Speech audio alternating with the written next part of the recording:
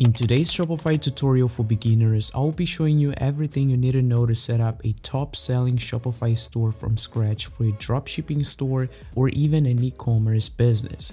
So by the end of this video, you'll be able to launch your own very successful Shopify store and sell any kind of products. So let's get started. To get started, we first need to claim our 30-day free trial for just $1 by clicking the first link in the description of this video or by simply going to proluxer.com shopify. Now on this page, you're gonna type in your email address and click start free trial. Now here skip the survey by clicking on skip all. After that select your country and click next. Now here create your login credentials and click login. After that Shopify will start generating our store. Okay now we can finally start building our Shopify store but we're gonna start by setting up the backend first. So first let's choose our Shopify theme by going to online store and then click on themes. As you can see by default our Shopify store uses the Dawn theme. But to make our Shopify store stand out a little bit more, we can choose any of these themes. To find more themes, you can click on visit theme store and then from here you can choose either free or paid themes.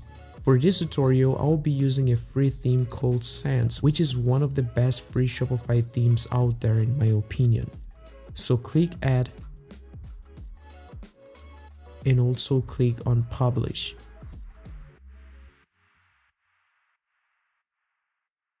Okay, now we'll move on to the next step, which is adding products to our Shopify store. But first, we're gonna create our product collections to better organize the store. So go to products and click on collections. By default, we have this homepage collection, but we'll be removing it by selecting it first and then click on delete collection.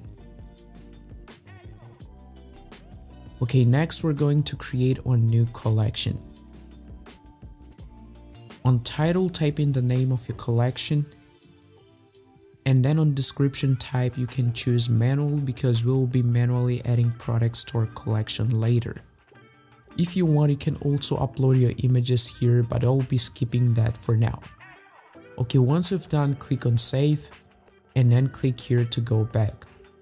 After that, just create as many collections as you need. Okay, now we can finally add products to our Shopify store. So go to products and click on add your products. Now on title simply type in the name of your product and then on description type in what your product does. If you don't know how to write great product descriptions, you can simply use ChatGPT to help you come out with great ideas.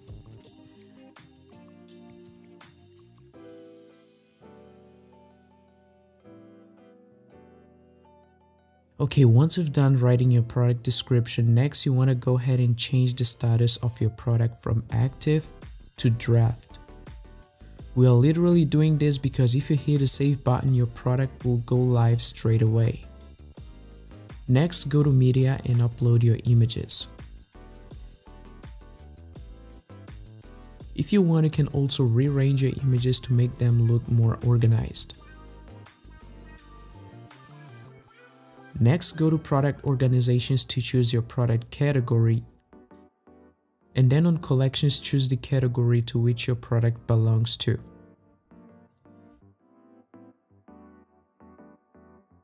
Now here type in the price of your product.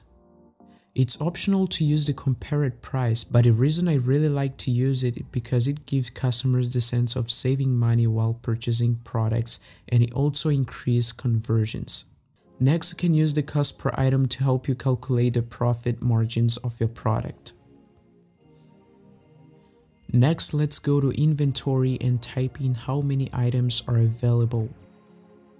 Okay, now check mark the SKU. For those who don't know, an SKU is a code that identifies a product in store's inventory. It can help you track sales and manage your inventory levels. So to identify your product, you can type in 001 002 or any number you want. Next, go to shipping and type in the weight of your product. Once done, click on save and then go back to add more products.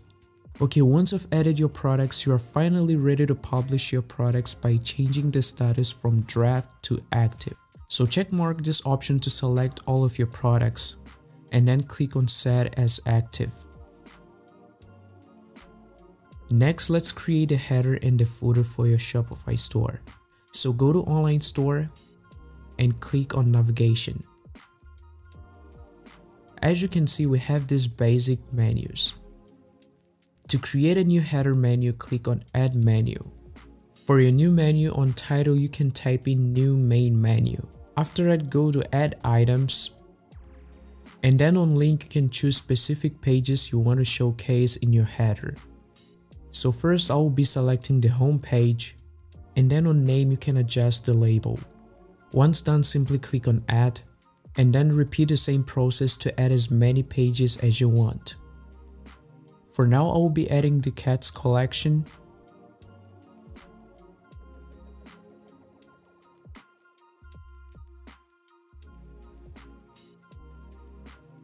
The dogs collection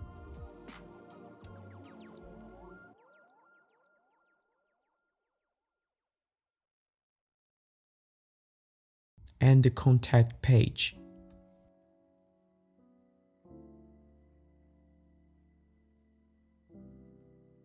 Once done, click on Save menu, click here to go back, and there you have it. Okay, now I'll be showing you how you can customize the footer menu, but before we do that, we first need to create our legal pages so we will be able to assign those into this menu. So go to settings, scroll down, and click on policies. Now to create policies, simply use Shopify template policies and then adjust it and then adjust them to your needs.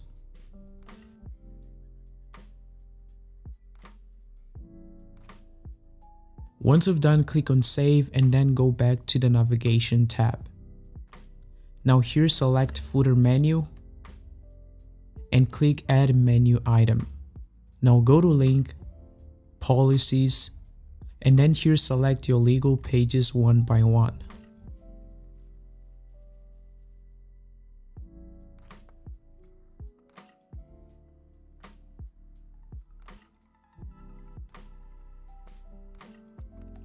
Next, you can rearrange these items.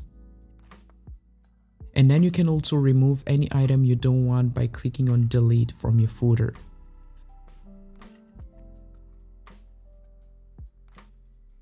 Once done, click on save menu and there you go.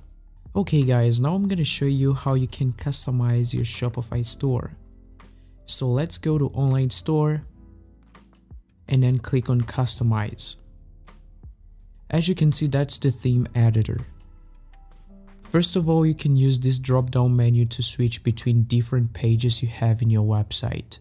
Like you can switch to the product page, the collections page, the collections list page, and so on.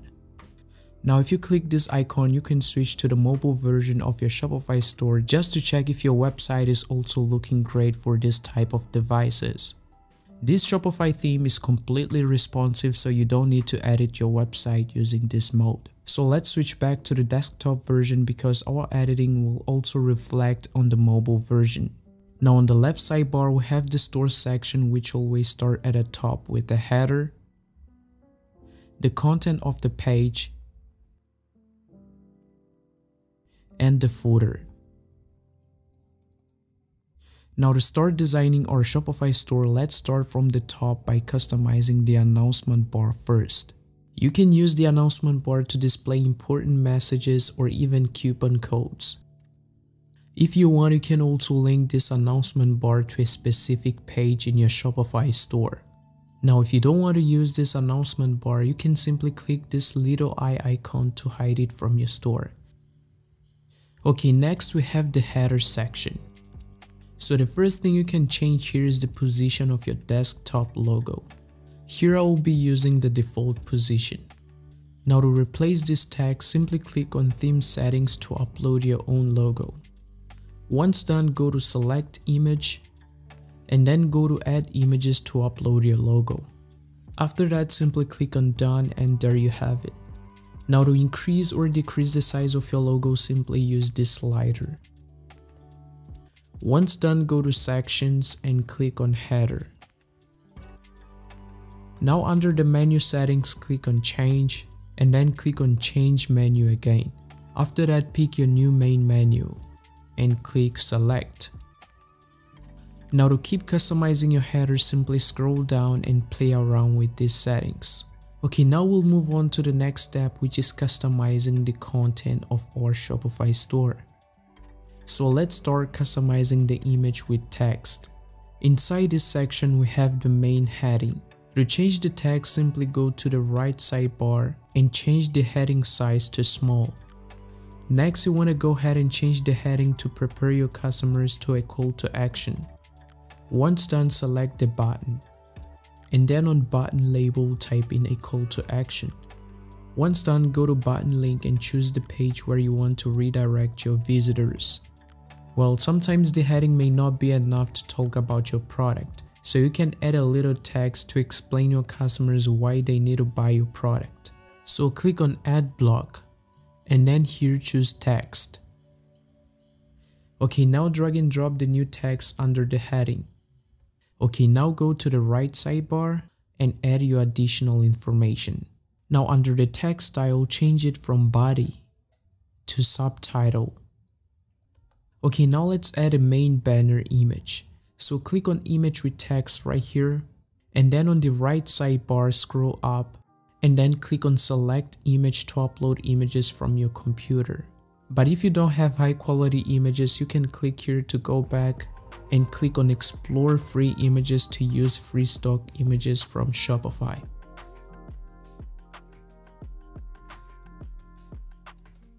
Now once you've done that, click on select and there you have it. Now to customize this section a little bit more, you can scroll down and simply play around with these settings. Okay, now let's customize the featured collection. So select it first and then on heading type in anything you want. For example, I'm gonna type in new arrivals.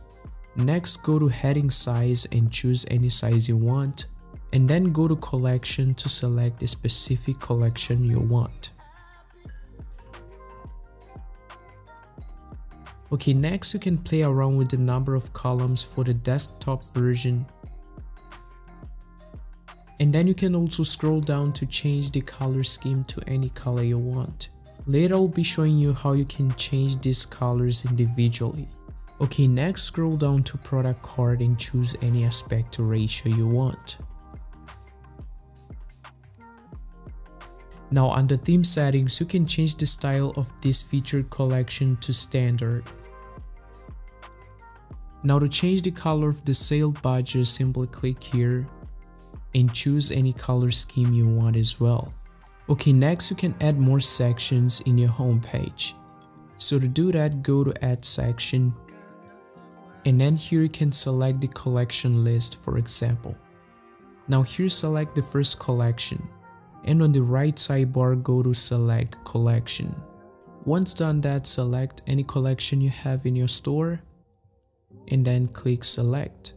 Okay, now you can basically repeat this process to add as many collections as you want. Okay, now select the whole section and then on the right sidebar, we're gonna change the heading size to small. Okay, now let's add a little bit of spacing between these sections. So let's scroll down and on bottom padding, I'm gonna increase it to almost 100 pixels. Remember that you can always drag and drop your sections to a specific part you want. Okay, now let's create an FAQ section by going to add section and then here search for collapsible content. Now on the right sidebar you can change these settings. So we will start by changing the heading first by typing in FAQs and then later you can change the heading size and the heading alignment. Now finally on layout, change it to row container to create this beautiful gradient. Once done, simply scroll down to section padding and then here increase the bottom padding. Okay, now let's customize the footer. If you don't need this email sign up, you can click here to hide it from your store. If you want, you can also change this email sign up heading by selecting it first. And then on the right sidebar, you can go to heading and type in anything you want. If you want, you can also change the text. Okay, now let's go to the main footer. As you can see, the main footer is empty now. So to add your menu here, click on add block and then click on menu. Okay, now you can click on your footer menu to change the heading. Okay, once done customizing your Shopify store guys, make sure to always hit the save button to save your progress. Next, make sure to check if the other pages of your website are looking awesome. For example, I will be switching from the home page to the cart page. As you can see, there is no spacing between the main content of this page and the footer section. So to solve this problem, go to add section right here and then here search for rich text. Now inside of your rich text, simply select every element and click on remove block.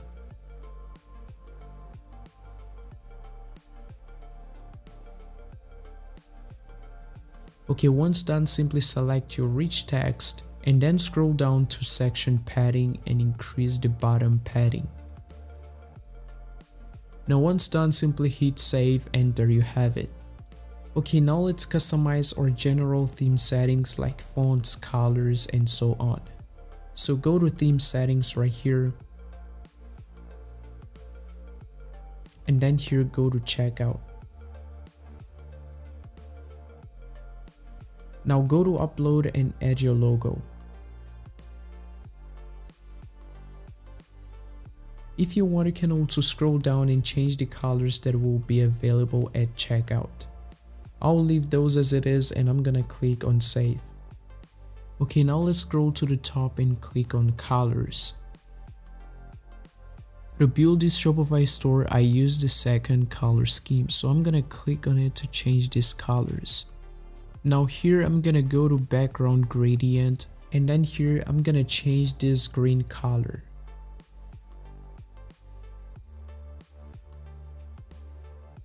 Next, I'll go to background and change it to white.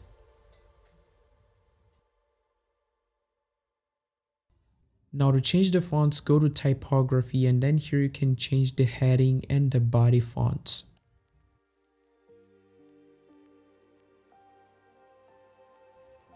Now once you've done customizing your Shopify store, simply click on save and then go back to the main dashboard to configure a few settings then we will be ready to launch our Shopify store. And then on store details, click on edit. On store name, make sure to type in the name of your store and then add more relevant information related to your store. And once done, hit save.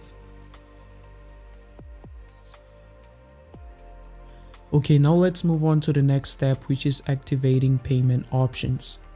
So let's go to payments. If Shopify payment is available in your country, you can click on activate Shopify payments.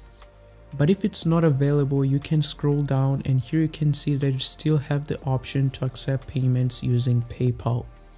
Now to use the different payment options, just click on add payment methods. After that, click on the search bar and search for any payment option you want.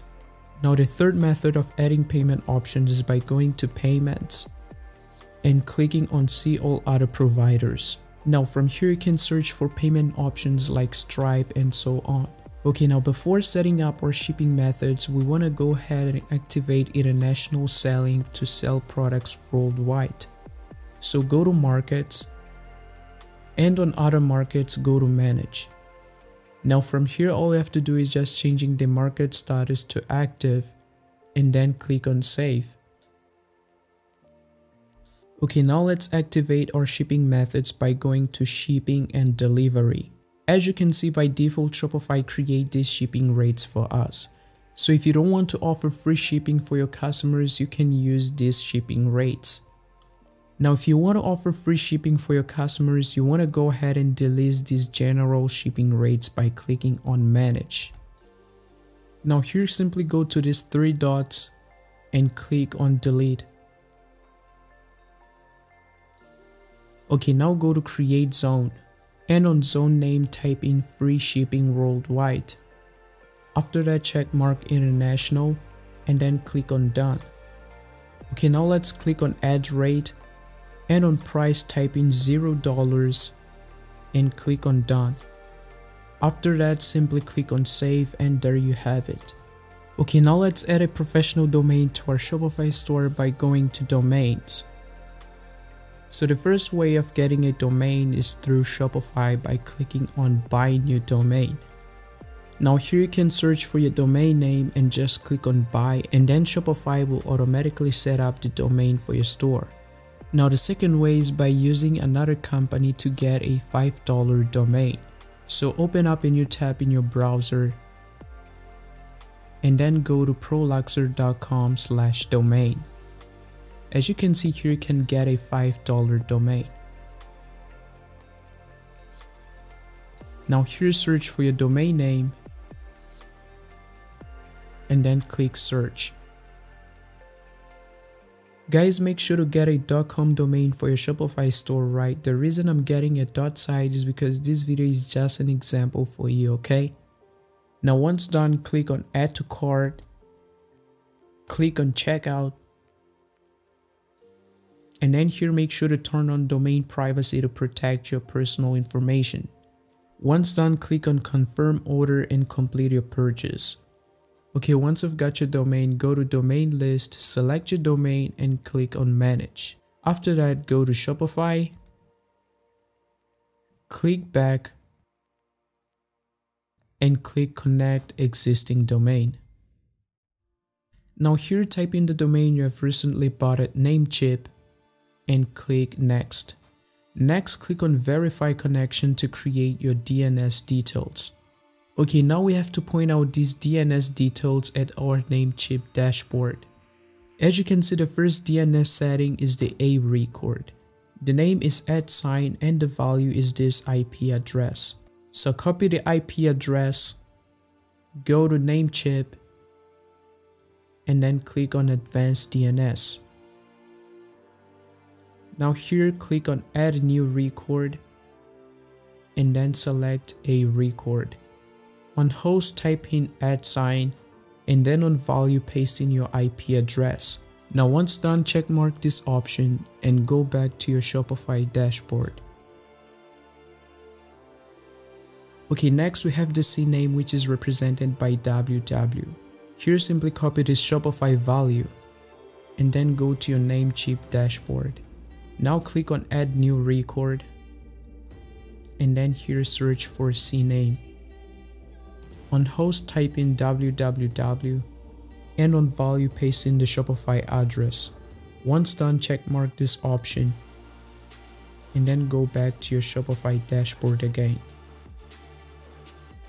Okay, now click on add and then Shopify will automatically configure the domain for your online store. Okay, at the moment we're getting this little badge saying that the domain is not connected yet. But the real reason we're getting this little badge is because our DNS settings are still propagating. So allow it at least 30 minutes and then you'll be ready to go. Okay, now let's choose our domain prefix. In this case, I'll be selecting the www prefix. And then go to set as primary. Okay, now click on back and wait at least 30 minutes to complete your domain propagation. Okay guys, 5 minutes later my domain has changed to SSL pending. So I'm gonna click on it and then click on view site. Okay guys, the domain is not working yet so I'll wait a little bit more. Okay guys, the domain finally started working 7 minutes later. So now it means we can finally open our Shopify store because at the moment it's protected by a password. So let's go back to our main Shopify dashboard.